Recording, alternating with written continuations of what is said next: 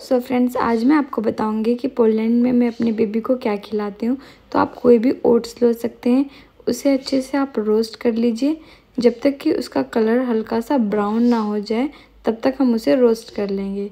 उसे रोस्ट होते ही हम उसे एक प्लेट में निकाल लेंगे और उसके बाद हम लेंगे काजू, पिस्ता और बादाम। बादाम यहाँ मैंने छिले हुए लिए, आप चाहे तो बिना छिले हुए भी ले सकते हैं। फिर हम उसे सेम पैन में ही डालकर उसे अच्छे से रोस्ट कर लेंगे, जब तक कि उसका कलर हल्का सा चेंज ना हो जाए। और फिर हम उसे ओट में मिक्स करके उसे मिक्सर जार में डालकर उसे एकदम फाइन पाउडर होने तक उसे पीस लेंगे। फिर हम कटोरी में एक दूध लेंगे। दूध को हम हल्का गर्म होने पे ही हम उसमें डालेंगे। वो जो ओट का पाउडर बनाए थे, वो और हम उसमें गुड़ मतलब कि जैगरी, वो ऐड करेंगे। और उसे हम एक बॉईल आने तक अच्छे से पका लेंगे।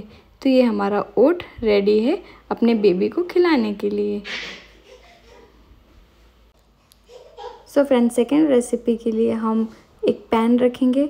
उसमें हम सूजी मतलब कि रवा, वो डालेंगे और उसे हम अच्छे से रोस्ट करेंगे जब तक कि उसका कलर हल्का सा चेंज ना हो जाए।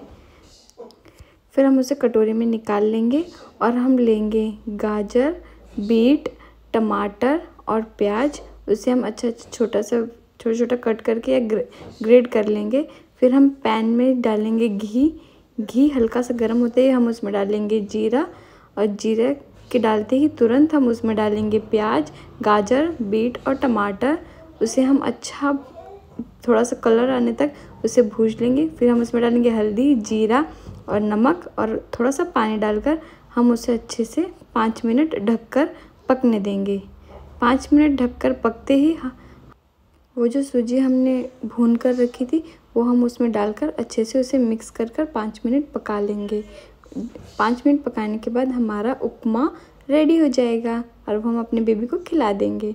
और थर्ड रेसिपी के लिए हम लेंगे कॉर्नफ्लेक्स आप कोई भी कॉर्नफ्लेक्स ले सकते हैं, उसे हम मिक्सी के जार में डालेंगे और उससे अच्छे से फाइन पाउडर बनाकर उसे पीस लेंगे। फिर हम एक हल्का सा गर्म दूध लेंगे और उसमें हम वो पाउडर मिक्स कर कर उसे अच्छे से मिला देंगे। और हमारा ये कॉर्नफ्लेक्स रेडी है। फोर्थ रेसिपी के लिए हम लेंगे एक नॉर्मल रोटी जो हम खाते हैं। उसमें हम लगा देंगे घी। घी को हम रोटी में अच्छे से चारों तरफ़ लगा देंगे और रोटी को छोटा छोटा सा हम तोड़ देंगे। तोड़ने के बाद हम उस रोटी को मिक्सी के जार में डालेंगे और उसे अच्छा पीस लेंगे। हमें रोटी को इस तरह पीसना है कि वो एकदम छोटे छोटे टुकड़ों में हो जाए। फिर हम उसमें डालेंगे दूध और गुड़। गुड़ मतलब कि जैगरी डालकर उसे अच्छे से मिक्स कर देंगे। और फिर हम उसे गैस पर रख कर गैस ऑन कर देंगे और उसे ज़्यादा देर तक नहीं, सिर्फ़ एक बॉईल आने तक पकाएँगे। सो so फ्रेंड्स मेरा वीडियो आपको अच्छा लगा होगा तो लाइक कमेंट और शेयर सब्सक्राइब करिएगा। Thank you